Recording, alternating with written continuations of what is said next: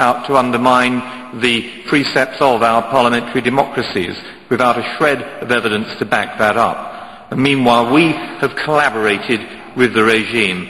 And meanwhile, we have frequently shown indifference both to the sufferings which have been perpetrated by the regime, but as we're here gathered today to reflect upon the suffering of people who are currently held in Camp Ashraf. Just two weeks ago, Robin raised that question in the House and I contributed a supplementary question to it. And I agree with what was being said before about the Minister of State in the Foreign Office, Lord Howell of Guildford. I thought that at last we had an attentive ear, that we had someone who was willing to enter into the suffering that has been taking place in Ashraf.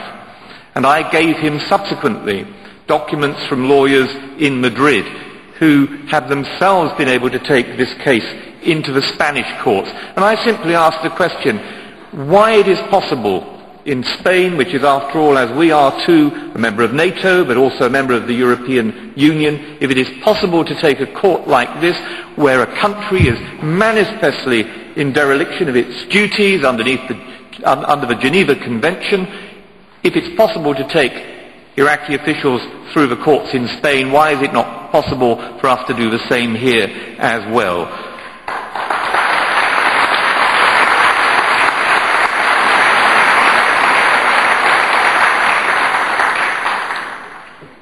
It is an undisputed fact that the current regime in Iran is not serious in negotiation. It has no intention of changing its behaviour, and indeed it's incapable of reform because it would lead to its collapse.